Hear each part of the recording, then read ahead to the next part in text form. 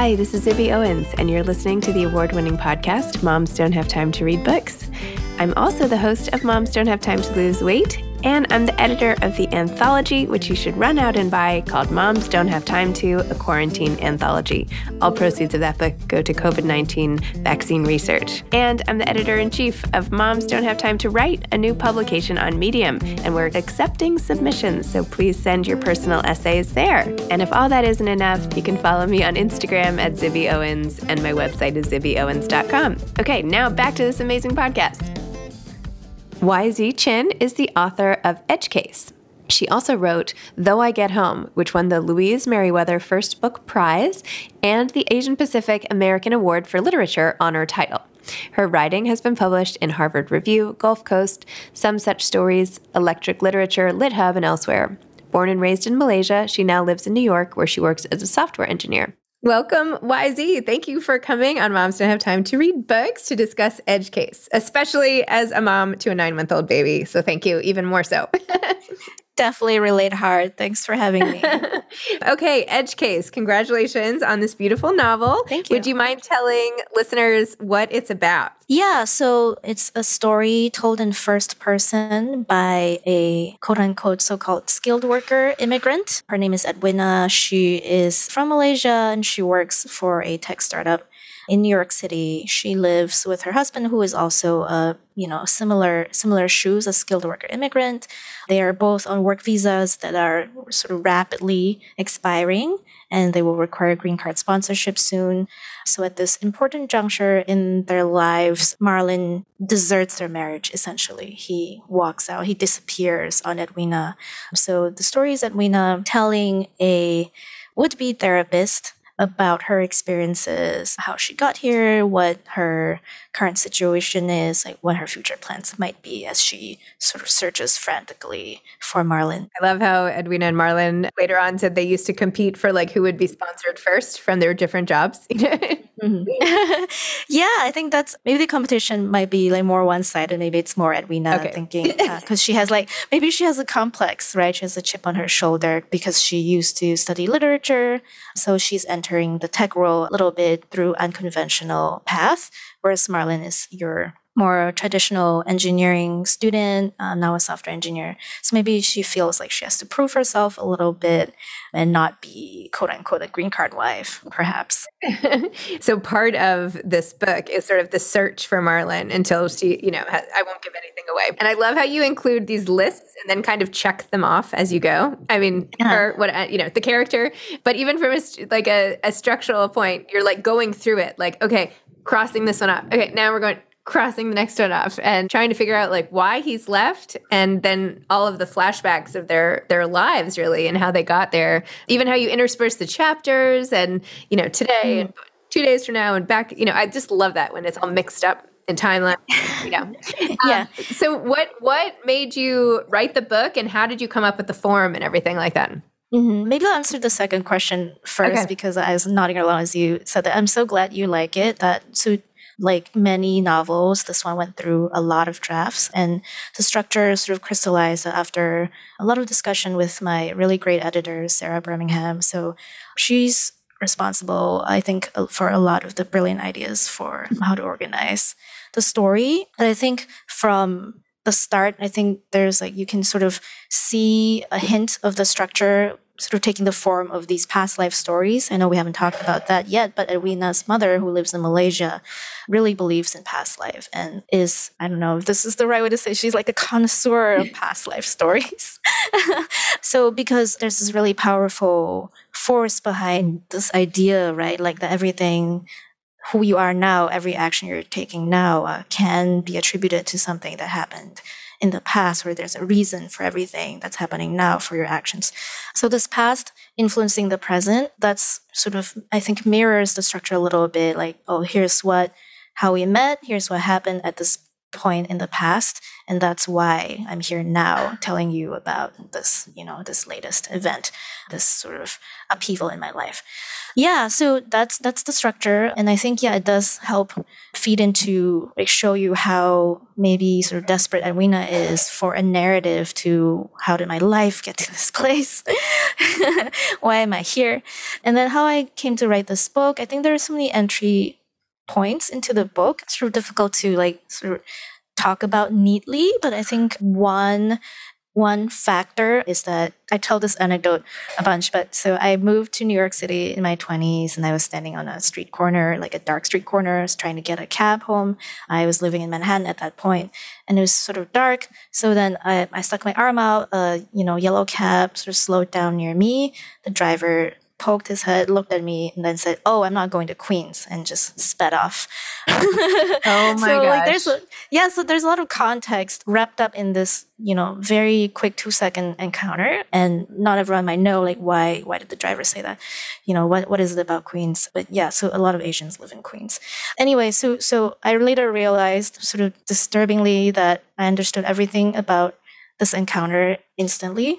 And that sort of made me realize that I'd been internalizing a lot of, you know, stereotypes and tropes and, you know, to just like potentially like racist ideas about how I'm supposed to be seen, how I'm supposed to move through New York City, through the United States as a whole. And I hadn't even realized that, you know, all these ideas had been inside me. But yeah, I actually understand a lot of my supposed place in this new country because I am from Malaysia although the story is not autobiographical. anyway, yeah, so that's one of the things that I sort of thought about on and off over the years. And that's, I think, one germ for the novel. And I'm assuming it must have really come about when you were trying to cut into some sort of spaghetti squash or you know butternut squash or something because I love you should you should like brand the type of knife that is in this book the the knife for difficult fruit or whatever fruits and vegetables because it is so true. When I think about how many times things have been like slipping off the table and like watermelons and like it's so hard to cut those things. So anyway. Yeah. Yeah yeah it's tough but in Malaysia people eat a lot of durian and I think I don't know. In every household, there's like at least one expert durian hacker. I'm not that. I'm not that person in my family. Yeah. But yeah, I, I, think you know you're used to the idea. I think growing up that wow, that there's this delicious fruit that may may hurt you, and it's very hard to cut open. Yes. Uh, yeah. a metaphor for life, right? There's some you, can, you can take this really far and deep, but I'll leave it at that. yeah, that is the reason they call it fruits of your labor. Exactly, exactly. There you go. so you also really write well about the i would say like the tenuous state of our minds right and what is mental health like when are you super clear about like when can you trust somebody else's thoughts and feelings when they lose touch with reality how do you handle that like how do you mm-hmm. reconcile like especially your innermost relationship when like someone is living in more of a spiritual world or you know has different mm-hmm. conceptions and how that impacts the relationship in different ways so tell me a little more about that mm-hmm. yeah i think yeah that's what Edwina struggles with most and they, i think that's the thorniest part of the narrative for Edwina. Um, so there's this snippet in the book that sort of reflects how um, maybe like not maybe not well accepted or well socialized mental health services is um, in the small town that Edwina grows up in, and she doesn't. She has a hard time finding mental health support. Um, and I think that might be true also for uh, many Asian Americans. There, there's potentially stigma in seeking therapy still. I, I think we've obviously come a long way, um, but that has ha- has been true in the past. So that's something that she bumps up against, which is the idea of seeking therapy, but also the mental health in, in different forms, right? Like her mother believes in past lives, and that's like a completely different framework for discussing, you know, explanations or for your behaviors and how to adapt them. So like what happens when Edwina might not necessarily agree with either framework, you know, the like behavioral talk therapy. Maybe she doesn't really believe in that, or maybe she hasn't seen that as an option, but she also doesn't can't really accept this other framework her mother presents. And there's this complicating factor of where on green card applications, they ask applicants about mental health statuses. So Edwina feels this like paranoia that she cannot engage in she has to seem really normal first of all. And then and then she cannot risk you know having a record like where she like officially goes see a therapist. Like she's she's just like consumed by all these paranoid worries. So mental health is her biggest struggle and that's why she sort of ends up talking to this bootleg therapist yes. in the novel which like, seems really sketchy and I, I hope sort of suffuses a sense of precarity like gently in the background. Yes. Like who is she really talking to anyway you know Right. Yeah. Wipe right yeah. on a therapist, and you're like, I'm a therapist in training. I mean, I could say that. yeah. Yeah. Exactly. Actually, end up with a lot of great stories that way. I have to say, if you're looking for story oh ideas. gosh. Oh yeah. Don't don't tempt me. okay. I mean, it, I you know, in exchange for yeah. story ideas, use me as your therapist. I don't know. Yeah. It's a new business model out there, maybe. yeah. Mm-hmm. You also, yeah. You did a great job also of like showing what it's like for a woman in a male dominated tech environment and what that's like with sort of the culture and how you even point out like individually maybe these guys would be great but like the culture of them all together and i think we all mm-hmm. have been in situations with like this sort of frat boy culture where you're like one or you're in a group and the group dynamic sort of overtakes the will of each individual. And so Edwina like faces that every day in her work life. Mm. Tell me where that came from and everything. No, exactly. I think you're spot on with the group dynamics part. It's it's structural, right? It's not eh, like like people say one bad apple or or things like that. It's not. It's like the lack of accountability, perhaps. Like obviously there are good people, like you said, and individually they can be very decent. But it's the yeah. So yeah. Anyway, where this came from, I think you know it's it's not I'm, I don't think I'm like breaking new ground here. I think there have been many news reports oh. about, yeah, like Susan Fowler at Uber. There, there's lots of material to mine, but I, I did work in a couple of startups, and those startups were sort of like dominantly male. And yeah, I've, I've had, you know, I've had some sketchy encounters as well. I had a coworker once joke about putting date rape jokes in my coffee. yeah, yeah. I'm laughing nervously. I'm yeah, not not laughing. I understand. yeah. So Edwina's experiences aren't my direct experiences, but I think I can obviously very well relate to what happened uh, what happens in the book um it's like no stretch of imagination to you know sort of describe what she goes through but also yeah so the follow up to my personal experience there the story is my manager at the time was very supportive uh, was very sympathetic so yeah there are definitely ways to address issues well unfortunately in edwina's company she doesn't have that support but yeah Wow. Yeah, so that's where all of that came from. I feel like you should also do something with the branding of the suitcase in this book. You know, I feel like the suitcase is like such a visual, maybe like I don't know, on your paperback, you have to, I don't know. I felt like, you know, especially when like, well, I don't want to give anything, but you know, at different times, like it has different absences from different places and whatever. And mm-hmm. I don't know, you could just so see it. Like I wanted to know, like, where is the suitcase at the end of the book? Like, where does it end? Anyway. Yeah.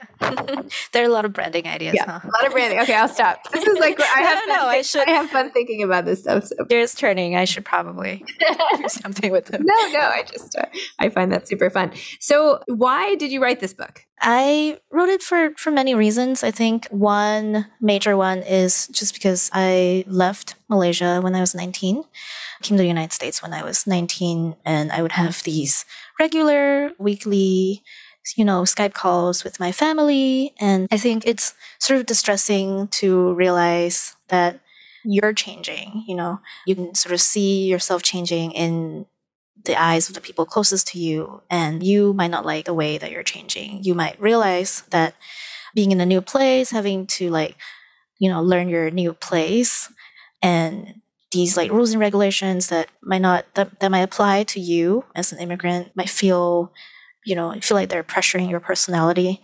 So I think there's like rare situations where an individual, especially minorities everywhere in the world, um, you can realize that you are being changed by systemic forces, maybe into someone that you don't really want to be, but you feel like you have to be in order to whatever get better job or get that visa, things like that. And so yeah, you start to maybe see your identity as transactional almost.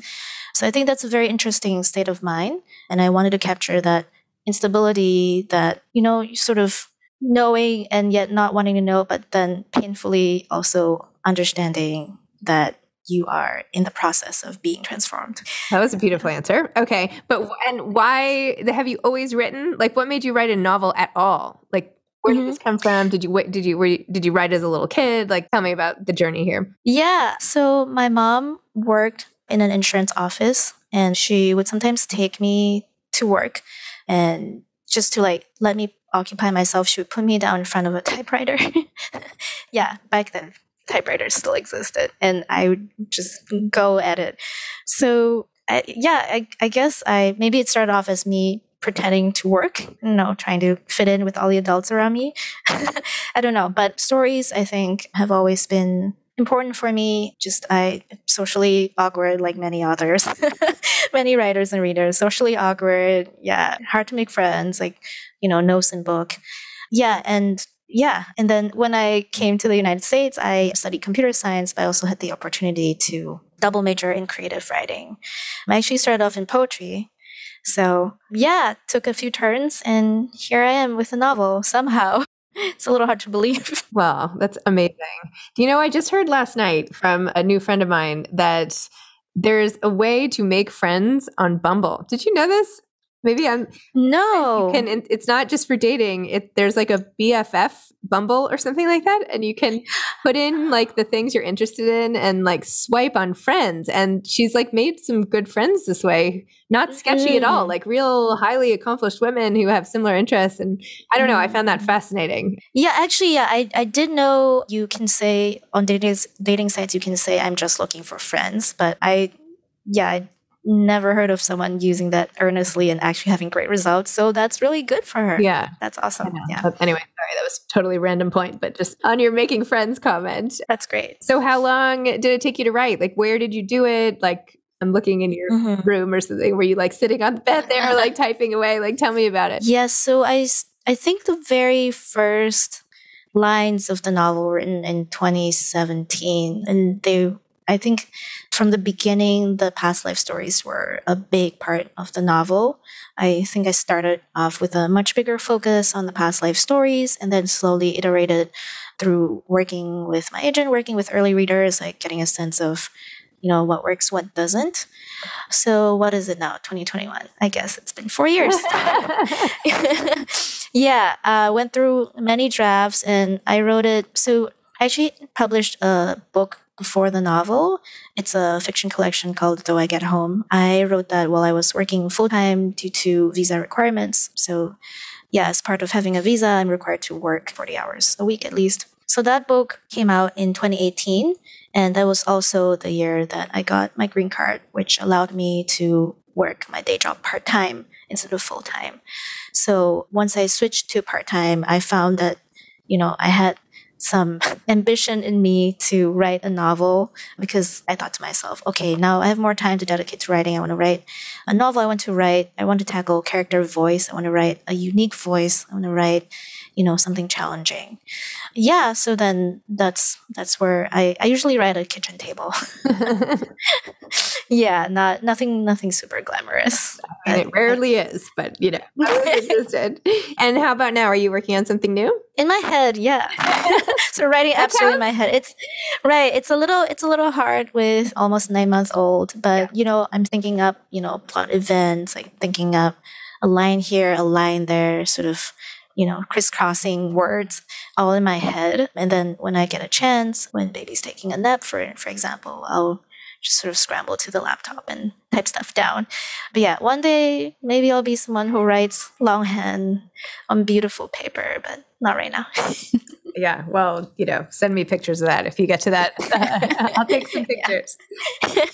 Do you have any advice for aspiring authors? Yeah, I would say, you know, if life, I don't want to say life gets in the way because that, that doesn't sound right. So yeah, if there are life circumstances that prevent you from, like I said, sitting down writing for uninterrupted stretches of time, I think it's totally doable and it still counts as writing to write in, in your head. I think thinking about the work, engaging with the work mentally as you go about, you know, go interacting with like the world and the and the debris of your life almost. I think that counts as writing and it's every bit of it is valuable. I like to look at Emily Dickinson's envelope poems sometimes. So I went to an exhibition at the Morgan, I believe it was, and did an exhibition of Emily Dickinson's poems that she wrote just like on the triangular flap of envelopes mm-hmm. and they literally shape her lines because of the constraint. And so you know i i found that very moving. She's probably going about doing chores taking an envelope out of her pocket writing a line here a line there you know sweeping. And yeah just i really like how part seamlessly not seamlessly how how entirely part of the fabric of her life her art is and i'm striving to do the same and not feel like you know taking care of a baby is taking me away from writing. It's not it's all part of it's all it's all art. It's all part of it Let's just keep saying that to ourselves. I'm going to keep saying that to myself too with my kids. I'm like, no, no. I, I do feel like, you know, I write a ton of essays. Like that's my preferred sort of genre. And so I can always tell like when the first kind of seed flies in and I like yeah. like lodges in there and then like yeah. more seeds like attract until like they're enough that I'm like ready for them to become like a plant and then I write it out. I mean that sounds mm-hmm. ridiculous. Mm-hmm. I just but you know, you, no, I love it. You, yeah. need all the inputs before it's ready mm-hmm. to come out again. So yeah, yeah, yeah. You can't yeah. just be sitting there because you won't get inputs from doing nothing. yeah, and sometimes it's like constellation, right? A, a, star here, an idea here, an idea there, and they don't seem connected, and then. Yes. You see the connection. Yeah. No, it's great. totally. I, I buy that. I totally agree. All right. Awesome. Well, thank you so much. Oh, wait. Advice to aspiring authors. More advice. Anything you have? More advice. I would say, and I mean, I think advice is tricky because like not everything works for everyone. So, you know, I feel like, yeah, read as many advice as you can and take what works for you. But I would say first, at least the very first draft or first couple of drafts, write for yourself. Mm-hmm. just don't worry about how, you know, a reader might perceive it, how an agent might perceive it. Just write for yourself. And then in later drafts, I think that's when you maybe try to approach it with, okay, how would someone not at all engaged who hasn't been obsessing over this material like I have for the past, I don't know, one, two, three, four, five years? Like, how would someone like that approach this? I think in the very later stages is when you know you're you're you should bring in the outside perspective. But the very first draft, it should be just for you, and you shouldn't at all have a reader in your mind. I was so nervous starting the draft for my memoir that once I had like sold it, that I put in all capital letters, no one will see this but you. yeah. And then I was like, yeah. okay, now I can like start. And then I was fine. But you know, mm-hmm, mm-hmm. Yeah, yeah. It's definitely it allows I don't know, you have to give yourself room to like make mistakes or go where even you don't think you want to go. I think I like I like to tell myself, and I don't know if this advice works for everyone, but I like to say instead of writing just what you know, write what you know, but also write what you don't want to know. Like, what are you afraid of mm-hmm. knowing? What what do you find yourself sort of mentally, you know, skidding about? Like, what are you racing past? Like, what are you afraid to confront? Yeah. Awesome. All right. Hope that helps. It helps. It all helps. Okay. Well, YZ, this was so interesting. And thank you for coming on. Thanks for this fantastic novel filled with, you know, the tech startup, the relationship at home, the abandonment, the search, the, you know, all of it. You have a lot of great elements, you know, friendship, family, you know, you got it all in there. So Thank you so much. I really appreciate it. And I hope reading and writing goes smoothly. Thank you. you. Thank you so much. Good luck with, you know, the whole launch time and everything. So great. Okay. Thank you. All right. Take care. Bye. Take care. Bye. Thanks for listening to this episode of Moms Don't Have Time to Read Books. Don't forget to follow me on Instagram at Zibby Owens and at Moms Don't Have Time to Read Books. Also, sign up for my newsletter at zibbyowens.com and sign up for my virtual book club and meet lots of authors on Zoom every other week. Thanks so much to Steve and Ryan at Texture Sound for the sound editing. And thank you to Morning Moon Productions for providing this fantastic intro and outro music.